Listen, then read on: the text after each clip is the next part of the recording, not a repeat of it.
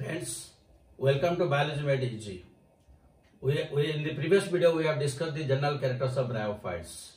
Now, in this video, we'll discuss the characteristics of uh, liverworts. Liverworts. Liverworts are coming under the main class that is Hepaticopsida. Hepaticopsida. Now from this word you can know what is hepatici means liver. That is why they are known as liverworts because this means liver. That is why they are, known as liverworts. And usually these liverworts they grow in uh, moist, shady, damp, or you can call swampy, swampy uh, habitats, habitats, and also some grow on banks of banks of streams, and some grow in a deep forest. But whatever may be the condition, it should be moist, shady condition. That means say water should be available so that they can complete their life cycle because they are known as amphibians. Now the uh, the main plant body, the main plant body is always uh, thalloid. Thalloid means it is thallus like. Thallus like means uh, no root stem, no root stem and leaf. Because they are thalloid structure, they are prostrate. We can call they are uh, prostrate. Prostrate and what type of prostrate? They are dorsiventrally prostrate. Dorsiventrally they are prostrate. That means they are prostrate like they are prostrate like this on the surface of the ground and dorsiventrally. That means we can see one ventral side, lower side and on the upper side or dorsal side. Not like this. That is, this is lateral compression, but this is upper side and lower side. They are dorsiventral differential. That means this is the upper side, the, the other side is lower side, or that is ventral side, this is dorsal side. Dorsiventral differentiated. And another important thing is, the thallus is dichotomously branched. Now dichotomously branched means uh, each time it will divide only into two, not more than that. Suppose you see this is it divides like this it divides like this like this this is the structure it is always dichotomously branched here it is divided into two then here it is divided into like but in case of uh, some species of Riccia it is so much dichotomously branched that it gives like a rosette appearance that means completely circular this is known as rosette appearance. This is usually found in some species of Riccia. Otherwise, in most of the cases in and Marchantia, this is their structure. So, here you will find the roots are there. Sorry, rhizoids. The rhizoids are there. And the risers are always unicellular. The rhizoids are unicellular. Multicellular rhizoids will get only in case of mosses. Here it is unicellular. Now, on the lower side of the some of the thalli, like particular Marchantia, will find two rows of leaves like this for retention of water. Two rows of leaf-like structures. Two rows of leaf-like because their leaves are absent. Leaf-like structures present on the lower side. This is known as amphigastria. Amphigastria. So amphigastria means two rows of leaves on the lower surface of the, the ventral surface of the thalli of some of the liverworts. This is very important. So the thallus is dorsiventrally flat, having lower side and upper side or ventral and dorsal side. The rhizoids are always unicellular and on the ventral side two rows of leaves are there that is amphi that is known as amphigastria this is only the uh, thallus structure because the main plant body is gametophytic and haploid now if we come to the reproduction part. The reproduction may be vegetative or may be asexual and sexual Now, if we consider the vegetative reproduction, the vegetative reproduction usually takes place by means of fragmentation. So, this is uh, one th- thallus and uh, the apical part is the growing part. The apical part lies here while, while the old part lies here.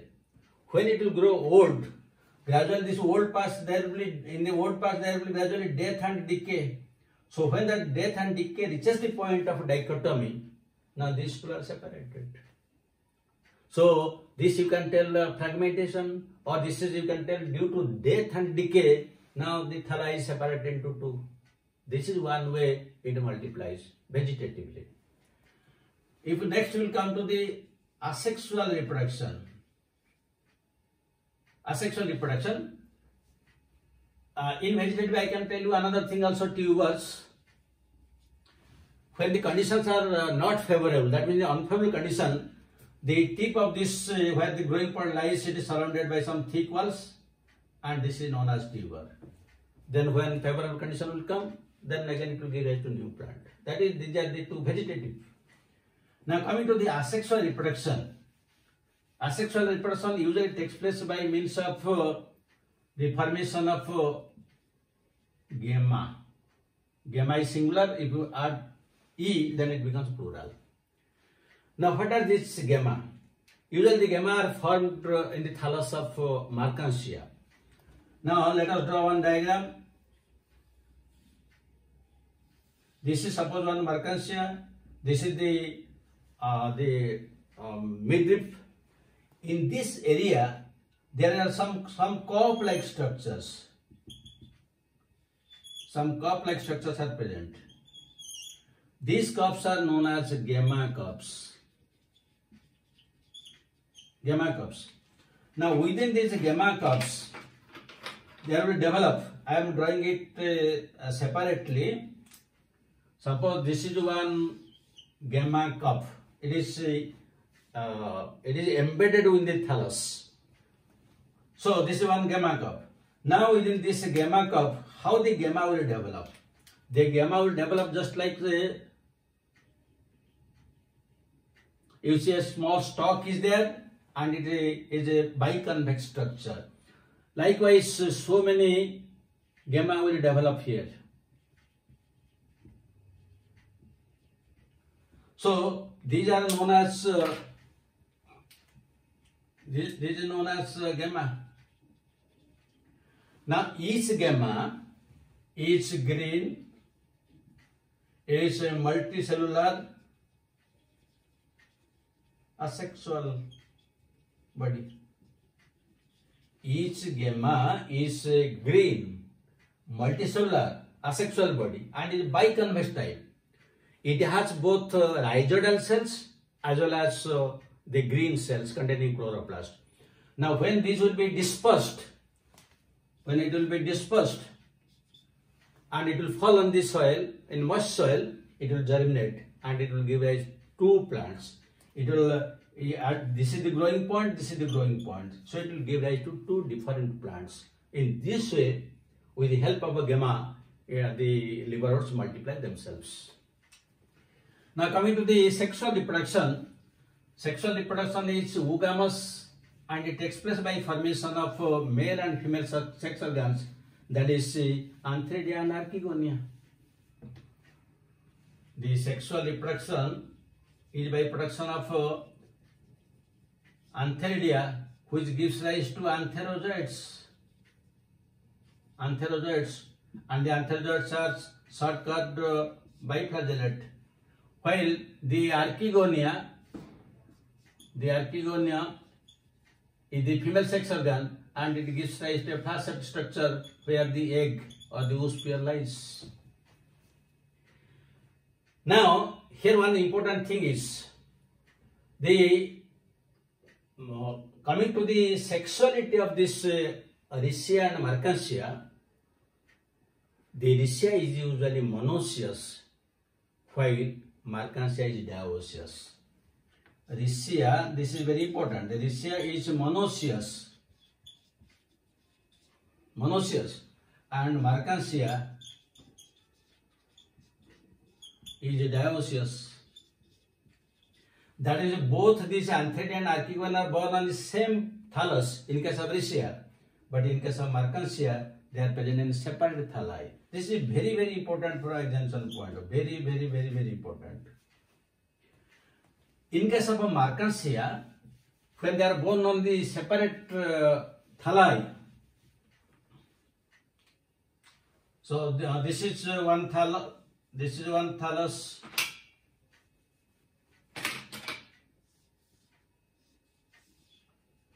and uh, this is uh, another thallus. Now here, since they are separate plants, at, from this, suppose this is antheridia, the antheridia will grow. So it will give rise to antheridia. So this is known as antheridiophore. Antheridiophore. And if it will give rise to structure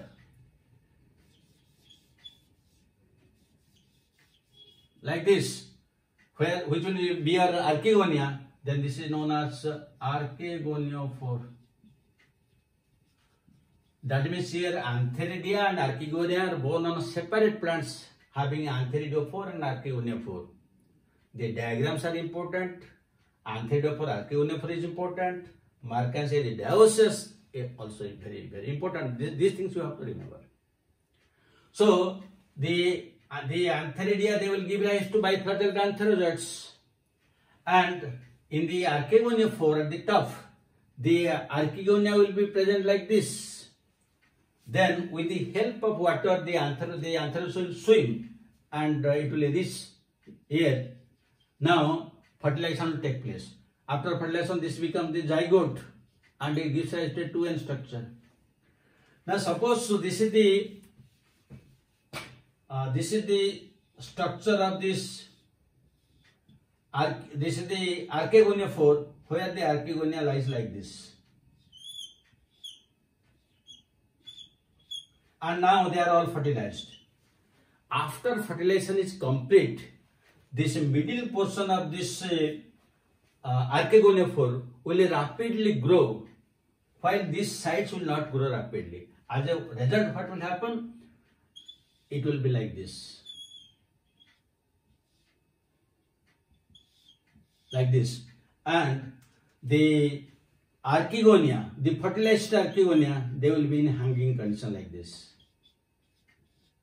Only after fertilization. Only after fertilization. Now, the already fertilization has taken place. Now the zygote, uh, the zygote will give rise to this sporophyte. So naturally this sporophyte in case of Marchantia is inverted condition, but not in Riccia. In Riccia it is upright and in Riccia it is embedded within thallus, but here it is inverted condition. This is one of the very important things in case of Marchantia. So now the gametophyte stage is complete and from the zygote the sporophyte will develop. So when the sporophyte will develop, in case of Riccia, sporophyte is embedded is embedded in thallus. No uh, no foot and seta only capsule is there. Only capsule is there and this uh, after meiosis it will give rise to spores which are haploid and they will germinate to give rise to the gametophyte plant body. But in case of Marchantia, they are uh, inverted position. So when they are inverted, suppose this is the thallus structure, it is inverted. Inverted means it will give rise to a structure like this. That means this is the foot, this is the seta, and this is the capsule. Capsule, inverted position. Now all these foot, and capsule, they are diploid because they are the parts of the sporophyte. Within this capsule, there will be meiosis and haploid spores will be produced. Haploid spores will be produced, which is the starting point for the gametophyte generation. But here one important thing. When they uh, when the cells of the capsule give uh, undergo meiosis and to give to spores, nearly 50% of these spore mother cells they do not undergo meiosis. They remain as diploid and simply they become elongated structures. They become elongated structures like this. These are known as elaters. Very, very important, elaters. That means elaters are uh, diploid structures because these spore mother cells do not undergo meiosis. And they are long, coiled, and they exhibit xerochasy. That means in dry conditions, they, uh, they show zigzag movement and that helps in a dispersal of the spores. So this point is very important, elaters. So the, in this way, the liverworts, whether Riccia or Marchantia, they give rise to the spores and the spores again germinate to give rise to the gametophyte plant body. That means the gametophyte gives rise to sporophyte, the sporophyte gives rise to gametophyte. And uh, that is the haplodiploidy life cycle that already we have discussed in the general characters. So in this way, the life cycle is uh, uh, complete. Now let us discuss uh, some questions.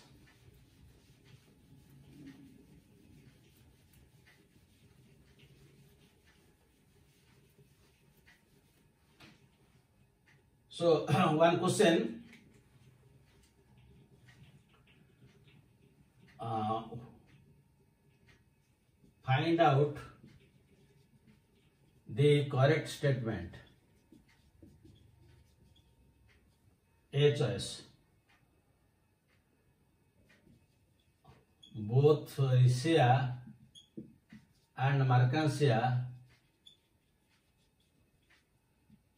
are monoecious.